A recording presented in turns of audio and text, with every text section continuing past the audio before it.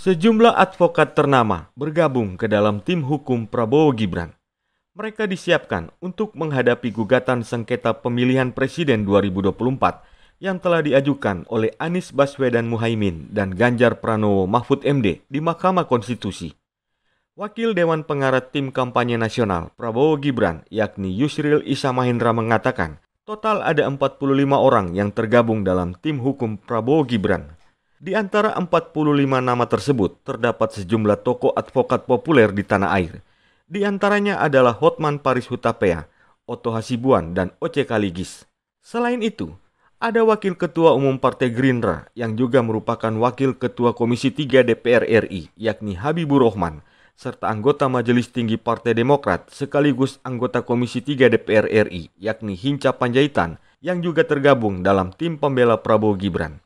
Nama lainnya dalam tim pembela Prabowo Gibran adalah Yuri Kemal Fadula, Adniel Rumsa, Ahmad Maulana, M. Gamal Rusmanto, Rifai Kusuma Negara, Nikolai Aprilindo, Yakub Putra Hasibuan, dan sejumlah advokat profesional lain utusan dari partai politik anggota Koalisi Indonesia Maju.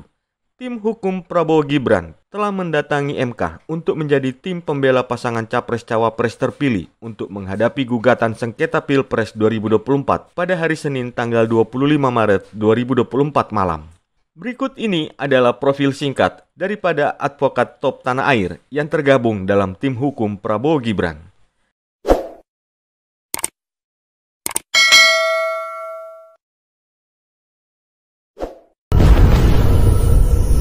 Pertama, ada nama Yusril Isa Mahendra. Selain menjadi ketua umum Partai Bulan Bintang, Yusril Isa Mahendra adalah seorang avokat. Beliau memiliki firma hukum dengan nama Isa dan Isa Law Firm yang dipimpinnya sendiri. Dilansir dari laman Isa dan Isa Law Firm, Yusril merupakan guru besar hukum tata negara Universitas Indonesia. Berikut pendidikan yang ditempuh oleh Yusril. Sarjana Ilmu Filsafat di Universitas Indonesia – Pasca Sarjana Bidang Studi Hukum dan Ilmu Islam di Universitas Indonesia, Pasca Sarjana Humaniora dan Ilmu Sosial di Universitas Punjab Pakistan, Master of Science di Universitas Sains Malaysia, Doctor of Philosophy Bidang Ilmu Politik di Institut Pendidikan Doktoral. Beliau juga pernah menjabat sejumlah posisi di pemerintahan, seperti Menteri Hukum dan Perundang-undangan di tahun 1999 sampai tahun 2001 Menteri Hukum dan Hak Asasi Manusia di tahun 2001 sampai tahun 2004 dan juga sempat menjabat sebagai Menteri Sekretaris Negara di tahun 2004 sampai tahun 2007. Karya tulisan dari Yusril Isa Mahendra antara lain Tegakkan Keadilan dan Kepastian Hukum tahun 2013, 90 menit bersama Yusril Isa Mahendra tahun 2012, Rekonsiliasi tanpa mengkhianati reformasi versi media massa tahun 2004, catatan kritis dan percikan pemikiran Yusril Isa Mahendra tahun 2001, membangun Indonesia yang demokratis dan berkeadilan tahun 2000, modernisasi dan fundamentalisme dalam politik Islam, perbandingan Partai Masyumi Indonesia dan Partai Jamaat I Islami Pakistan tahun 1999, pemerintahan yang amanah tahun 1998, dinamika tata negara Indonesia, kompilasi aktual masalah konstitusi, Dewan Perwakilan dan Sistem Kepartaian tahun 1996. Nama pengacara populer yang kedua adalah Otto Hasibuan. Otto Hasibuan merupakan avokat yang telah malang melintang di bidang hukum. Beliau tercatat pernah menangani sejumlah kasus besar seperti menjadi pengacara Jessica Kumala Wongso dalam kasus kopi sianida di tahun 2016. Otto Hasibuan juga mendirikan kantor hukum Otto Hasibuan Law and Association yang menjadi salah satu kantor hukum terkemuka di Indonesia.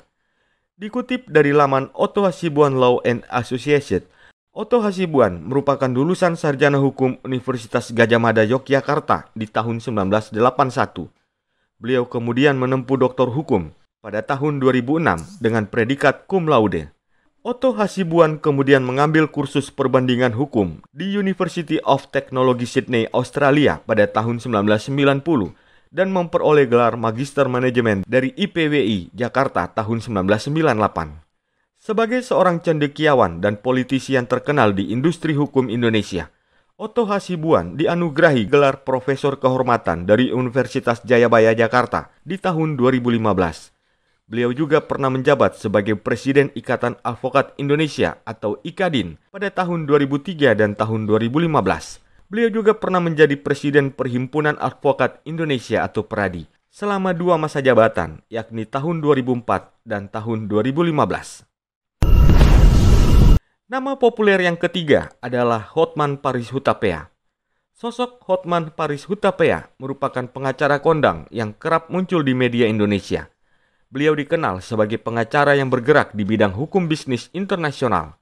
Beliau juga pernah menjadi bagian dari kuasa hukum Manohara Odelia Pinot dalam kasus KDRT dengan Pangeran Kesultanan Kelantan Malaysia, yakni Tengku M. Fakhri pada tahun 2009. Hotman Paris Hutapea juga tercatat menjadi pengacara mantan Kapolda Sumatera Barat, yakni Irjen Teddy Minasa yang terjerat dalam kasus narkoba.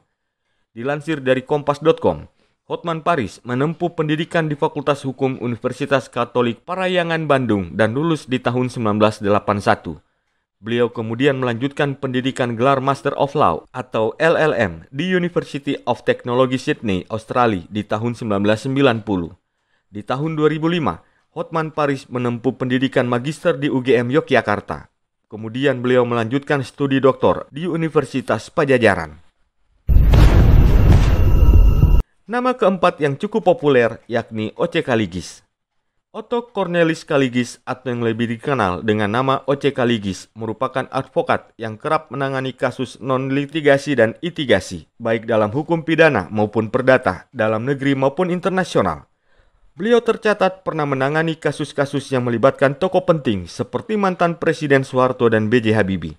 Selain menjadi pengacara, Oce Kaligis juga merupakan seorang guru besar bidang hukum di Universitas Negeri Manado yang mengajar di beberapa kampus seperti Sekolah Kepolisian Negara, Universitas Trisakti, dan sebagainya.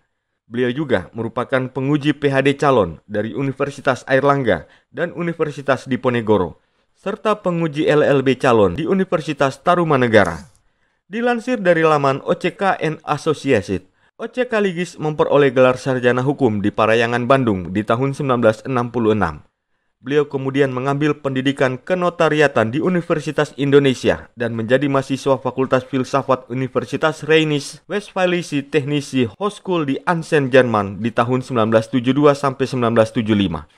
Di tahun 1990, Oce Kaligis mengikuti beberapa pelatihan eksekutif mengenai hukum kepailitan dan pasar modal. Beliau kemudian mendapatkan gelar Master Hukum dari Universitas Pajajaran Bandung di tahun 2003 dan gelar Doktor Ilmu Hukum pada tahun 2006. Itulah dia profil singkat pengacara tenar yang menjadi bagian dari tim hukum Prabowo Gibran. Sampai jumpa di tayangan kami selanjutnya.